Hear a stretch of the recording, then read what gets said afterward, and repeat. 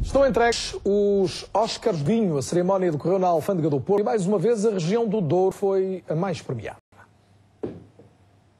Em 14 anos a casa esteve tão cheia. No edifício da Alfândega do Porto estiveram quase mil pessoas.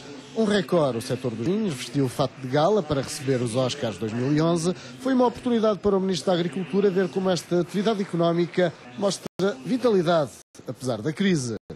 Muitas vezes, quanto mais difícil, mais duro, mais, menos, mais árido for o terreno, melhor são os vinhos que se conseguem. Portanto, a vinha gosta das dificuldades. E penso que os produtores de vinho, não direi que gostam das dificuldades, mas sabem lidar com elas nos vinhos, nos prémios de excelência. Mais uma vez, a região do Douro saiu vencedora. Entre os quase 30 vinhos escolhidos, 10 eram do Douro. E também, num dos momentos mais aguardados da noite, o prémio de enólogo do ano foi para um homem que tem no Douro Superior a base para desenhar grandes vinhos na Quinta de Valmião.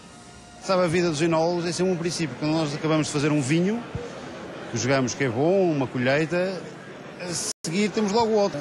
Portanto, nunca podemos descansar se temos uma boa pontuação internacionalmente ou nacionalmente, é uma coisa de certa maneira efêmera, porque logo a seguir toda, toda a gente olhar para o próximo. Em relação à empresa do ano, o prémio foi para a. Já em relação à melhor cooperativa, não houve surpresa. Pelo segundo ano consecutivo, o prémio foi para o Alentejo, para a cooperativa de Gangos de Monsaraz. O segredo é, é trabalhar, trabalhar, trabalhar. Portanto, é, com muito talento, com muito empenho, com muita determinação.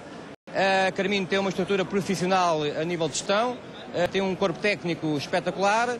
O produtor do ano ficou pela região do Minho e dos vinhos verdes.